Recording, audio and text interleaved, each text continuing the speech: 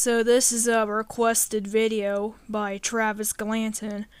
Now I'm kind of busy with requested or with um video requests right now because I have a lot of them to do. So there he's been um talk well I made this video about the Lowe's towers. It's uh yeah.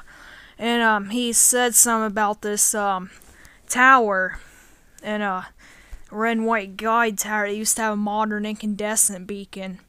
So, way he said, looks like it had more than one beacon, because he has beacons. So yeah, it's it probably has more than one beacon. So I asked him where it could be, and then I also got this one too. So yeah, he told me where it was located. So it was taken down. It's this red and white tower with the modern incandescent, and it was taken down in 2005.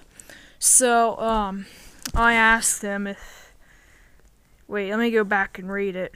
Because, um, oh, I, there was a something I had on it. Um, so yeah, here's the next thing he said about it. So, um, he said tower farm. I meant to say tree farm. Because there's a little farm full of trees, and I went back a time on Google Earth to try and find the tower there before I asked him where it was specifically located.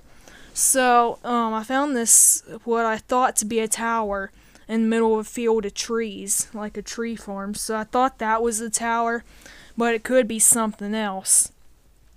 So I went back in time on Street View after he gave me this location to it, and I was able to see the tower. So yeah, it now way he said it probably has like a modern incandescent about halfway up the tower, but I do see the one at the very top. That's uh it's a guyed tower, so it's not a.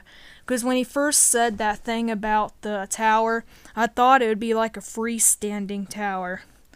But um, it turns out it was a guyed tower once he started replying back to me.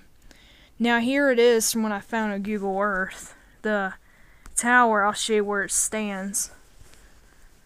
Okay, so this is the thing facing north. Uh, if I can get it here. So the tower is like right in here, and you can see the shadow of the tower right there. So yeah, there's the shadow to the tower.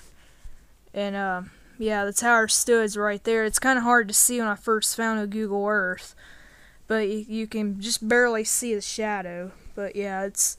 And anyway, there's the tower again from Street View. So, yeah. It was pretty hard to find, but until he gave me a location. It was, but you know, we need to like save these incandescent beacons. Like, towers with incandescent beacons are cool towers, and they're also classics too, because we need to save these incandescent or classic beacons. Because in the next video, I'm going to make there these two MCI towers where the modern incandescents had a sad story to them. So yeah, it's uh there's going to be more incandescent beacons in my videos these towers because I like the towers that I like towers more when they have incandescents.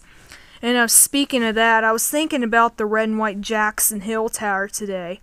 And because FH324s were around since the early 2000s and it was built in 1991, I'm kind of having suspicions now probably built it or it probably had a modern incandescent.